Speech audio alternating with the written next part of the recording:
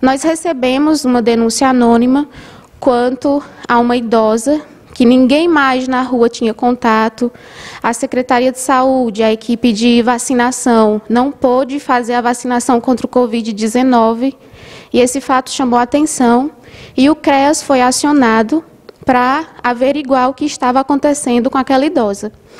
Dia 11 de maio, nós fomos até a residência informada e após muita conversa e a filha da idosa está muito relutante a nós é, vermos a idosa, nós conseguimos finalmente ver. Com uma pergunta que partiu de mim. Eu perguntei quantas pessoas residiam naquela casa e ela informou que eram quatro, entre elas a filha dela. E eu pedi para ver a criança. Então, para ver a criança, ela não negou, ela permitiu que eu visse a criança. Quando ela foi abrir a porta do quarto, ela teve que ir até o último cômodo da casa para pegar a chave. E aí isso acendeu um alerta em toda a equipe, em mim, Silvia, e na Fera, que, que é Verônica, que é nossa educadora social. Nós perguntamos o porquê do quarto estar fechado e ela deu uma, justifica, uma justificativa qualquer que não nos convenceu. Enfim, permitiu que uma de nós entrássemos no quarto, que foi a Silvia que relatou, é, nós temos um relatório de acompanhamento é, é, interno, mas que relatou toda a situação do quarto, uma situação bem difícil de se ver, é, sem nenhuma dignidade humana, as condições eram realmente muito precárias. Enquanto Silvia conversava com a idosa, eu fiquei na sala com a criança, eu, a educadora social e a tia. A criança visivelmente amedrontada, é, demonstrando sinais é, de negligência, sinais de que algo estava errado. Resumindo, mais uma vez, nós fomos lá pela idosa. Nós fomos lá averiguar a situação da idosa. Mas, ao sair, concluímos que tinham duas vítimas naquele lar: a idosa e a criança. Sendo assim, elaboramos um relatório. No dia seguinte, informamos ao Conselho Tutelar que existia criança, aquela criança naquele lar e que nós acreditávamos que aquela criança estava vivendo uma situação de risco. Entramos em contato com a Secretaria de Educação do município para tentar uma abordagem mais amena. Marcamos um horário com a psicóloga do município mas a mãe não trouxe a criança no dia marcado, e tudo isso sendo informado ao Conselho Tutelar.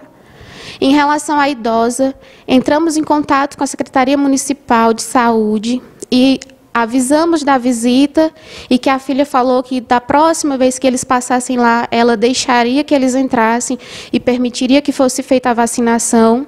E assim foi feito na sexta-feira passada. A idosa já tomou a primeira dose. E todo o trabalho de acompanhamento dessa idosa será feito.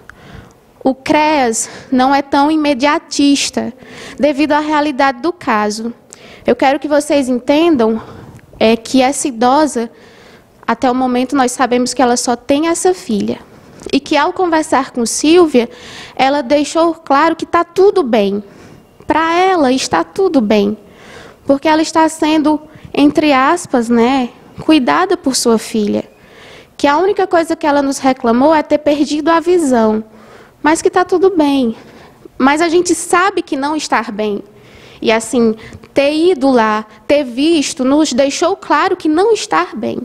E agora o nosso trabalho é um trabalho de acompanhamento. Foi aberto um prontuário, a gente vai fazer visitas regulares na casa. A gente solicitou que fosse feita uma limpeza em todo o quarto, que fosse retirado todos os móveis, que fosse comprado um colchão novo.